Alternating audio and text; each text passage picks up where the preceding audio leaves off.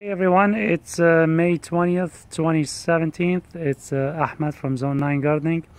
Um, I live in Tampa, Florida. Uh, please, if you live in another zone, um, please consider the instructions I'm going to say that might not apply to your zone. So, uh, this is an update to my uh, Bhut jolokia. Um, uh, last uh, month, um, I showed you the other video. I'm gonna put a link to it. Uh, but basically uh, it's uh, it's summer right now. It's uh, it's 90s getting close to hundreds and at night it's uh, upper 70s to 80s and uh, those degrees are not suitable for the any hop ever. I mean most likely.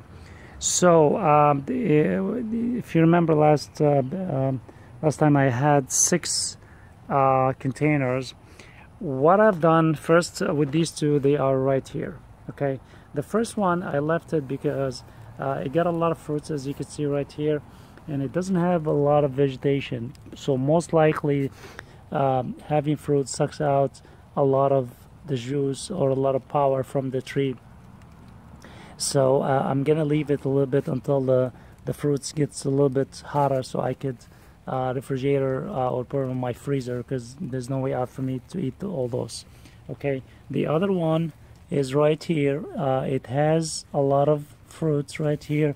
On one these are two plants in one container and uh, got some others right here as you can see okay? It got two. There's a lot of flowers but what I the, the, the reason that I'm gonna keep it outside is I want to see how it's gonna um, um, how is it going to really produce uh, any fruits uh, in the next month or so.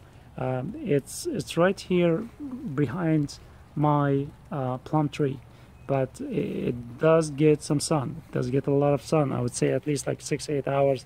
Uh, and again, as I mentioned in my last video, the ultimate temperature to grow the hot pepper are 80s uh, degrees and at night 60s. Uh, otherwise, the flower will fall and you're not to get any fruits. So what I've done is I um, done a couple of um, uh, very cheap um, greenhouses here, if you want to call it this way.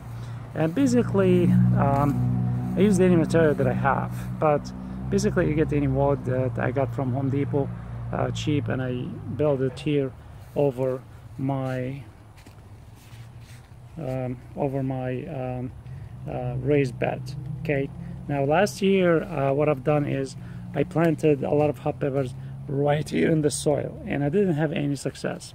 Uh, by uh, August uh, all my plants died, they didn't produce any fruits and uh, because it was like eh, this is like a sunny spot here. It's like at least I get like eight spot plus also it's a lot of rain. So uh, what I've done is I kept it here in containers okay? But I just moved it to this greenhouse if you want to call it uh, it does not get a lot of sunlight direct sunlight okay? And um, I just moved it here about three four days ago and uh, we're gonna see how it goes. But uh, they're perfectly very healthy and uh, I'm getting a lot of um, I'm getting a lot of um, um uh, flowers here. I'm gonna um, monitor those closely and I guess what I'm gonna do after I yield some of these fruits uh, as you can see there's a lot of fruits here. And right here. Okay. After I yield this I'm gonna uh, prune it a little bit and maybe use these leaves to uh, get uh, new trees. And um, as far as fertilization uh, I just spray it with the uh, Epsom salt once a week along with the fish fertilizer. I'm to provide the link on both the products if you cannot find them in your uh, own uh, uh, Walmart or um, or CVS or whatever any other drugstore. Um, okay, as you can see, you, you, might wonder what is that orange thing here on the bottom. Basically, I use a lot of carrots, um, beets, and um, as well as um, cabbage.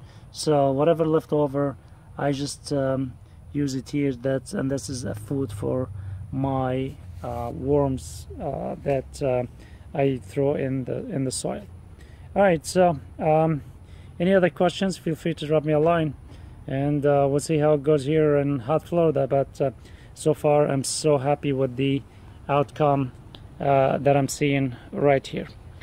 All right, take care guys.